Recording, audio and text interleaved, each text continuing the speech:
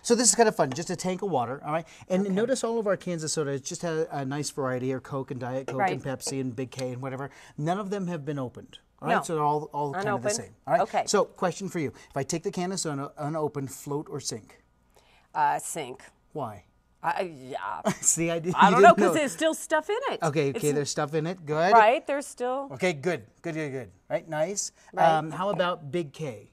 Float or sink? I I'm gonna say sink. Yeah, very good. Okay. Now, did you have parents that used to throw the can into the swimming pool and then you had to dive down and get Oh, it? that's and it kept part of the busy? big yes. swimming- yeah. thing for Fourth of July. Are you kidding? That's All so fun for so now, of July. Diet Coke is exactly the same: 355 milliliters, 355 milliliters Uh-huh. for a sink.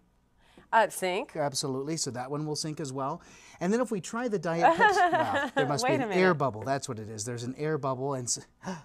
Oh my gosh. Wait just a second. Kim, out of all these here, which one's going to float? Which one's going to sink? There's a Diet Pepsi, there's a sparkling water, and a grape. Which one's going to float? Well, then I'm going with the diet. Let's go for Okay, it. Drop it right in there and see if you're It- there. it is. That's just, is it? How amazing is that? Isn't that kind of fun? Now, there's not air bubbles underneath there. It really is floating. And so the general rule here is that everything that's diet will float, everything that's regular will sink. Sink. So try that sparkling water what I just to see if that's Let's there you go, float or sink, the- and we get a little floating action that's there. So what's the difference? And I asked a group of fourth graders, what's the difference?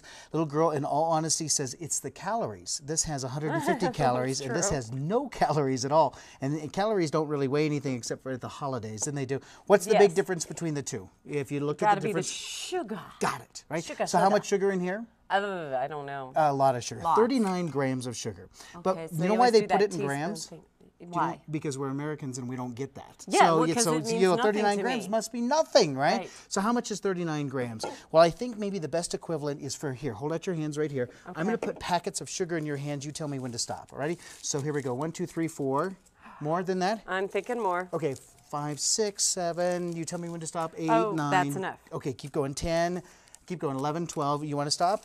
Uh, yeah. No, 13, 14, 15, 16, 17, 18. Roughly 18 packets of sugar in that uh, Coke that you see down there.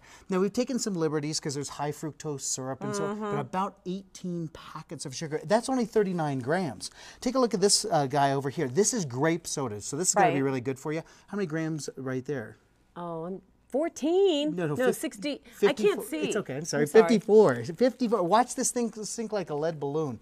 that just sick. bam. Isn't that amazing?